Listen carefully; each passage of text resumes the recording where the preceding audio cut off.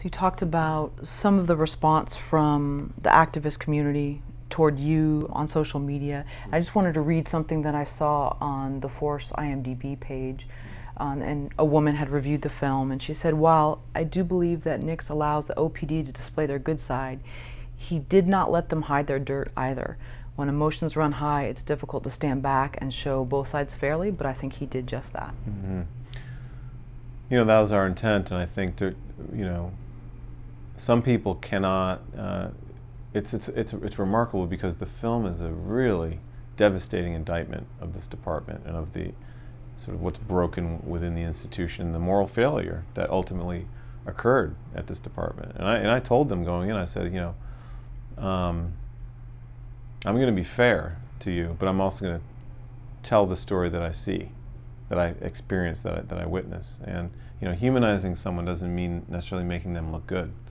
It means revealing them in their full three dimensions, and that's what we do. Like you know, that's our that's the whole value proposition of of Open'hood is to sort of get to that authenticity through visceral observational storytelling. And um, but the funny thing is, like you know, we've screened this thing to lots of audiences and different types of people, and some people still take issue with with um, still perceive the film as a pro cop film.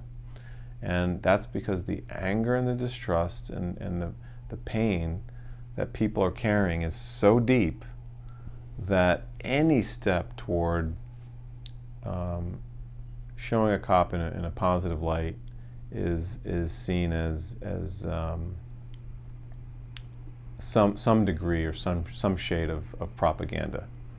And you know, there, there, there is a spectrum of sort of resistance to, to the police in this country that ranges from um, the sort of all lives matter pro cop people to abolitionists who believe that we should remove all police from our communities and replace it with a completely new paradigm and model for community and public safety.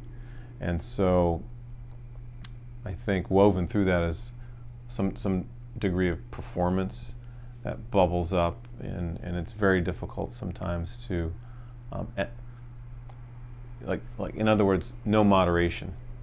It's, it's whose side are you on? Define your values, articulate those values without compromise.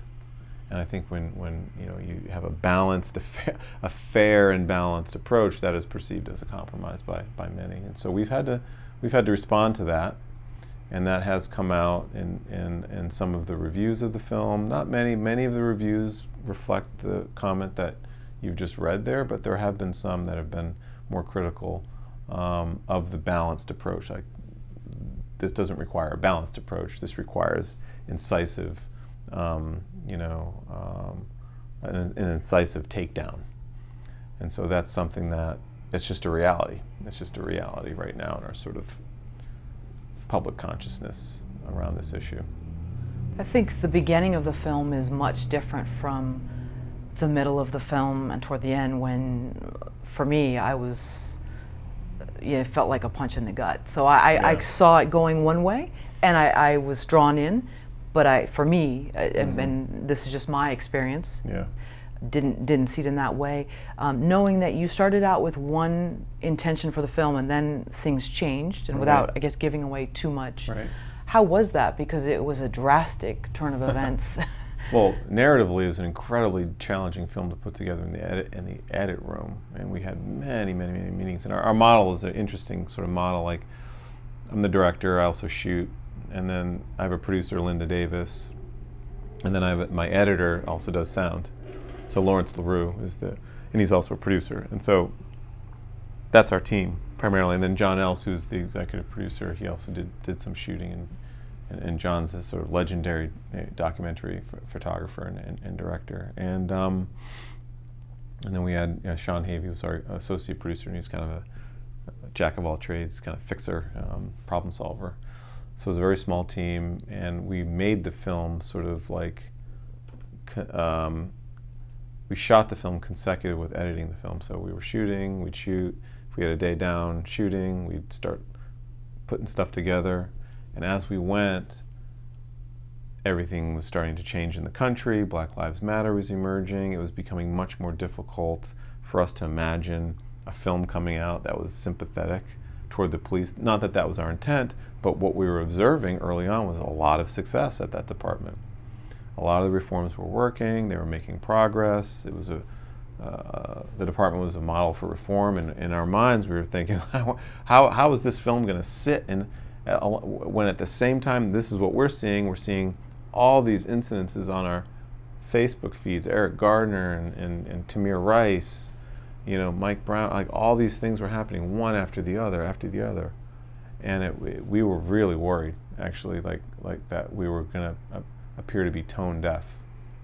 And so we constantly were asking ourselves, what are we doing? How are we framing the story? You know, um, it was a lot of, we cut a lot of versions of this film. At one point I tried narrating the film myself from the perspective of a black person who's trying to make a film that impacts the African American community. And, and um, in, the, in the end, we decided on the approach that we did, which was a two-year uh, you know, window into a department attempting to reform at this moment in time, which was a, a seminal moment in the, in the, in the history of policing, but also one of, probably the most dramatic moment in the history of the OPD. Like no, no question about that. And um, and the, the film is a result of that framing. And, you know, this is a two-year journey, um, and it, it, involves lots of twists and turns. The, the last, which is particularly dramatic and did feel like a punch in the gut to us as well, because it, it just came out of it came out of nowhere.